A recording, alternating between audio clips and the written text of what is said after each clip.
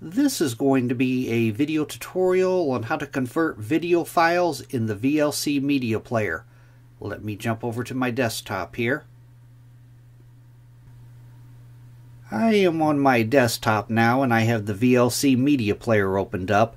I have some video files that I want to convert from MKV files over to MP4s. I'm going to use the VLC Media Player for that.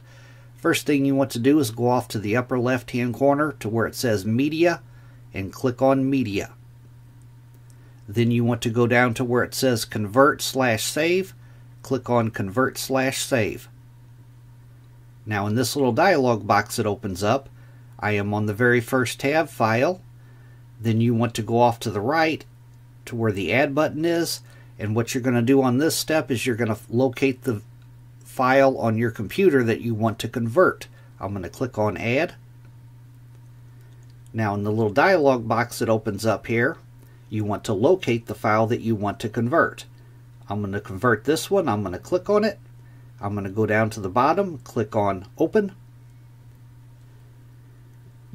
In the next step, you want to go down to the bottom of that dialog box and click on Convert and Save. And on this dialog box in the middle here is where you choose what you want to convert the file to. It's already on what I want to convert my file to, but you can click the drop down and you can choose between any one of these video formats. I'm going to leave it where it's at. Then you'll go down to the bottom and you want to choose your destination for the for the converted file here. You want to click on browse.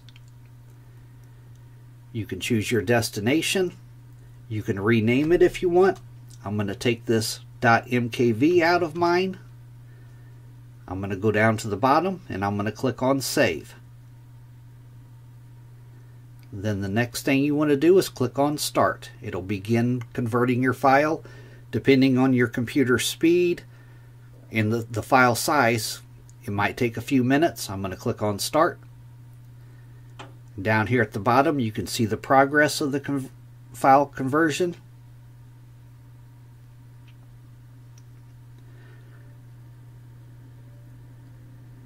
That is how to convert video files using the VLC Media Player. Thanks for watching.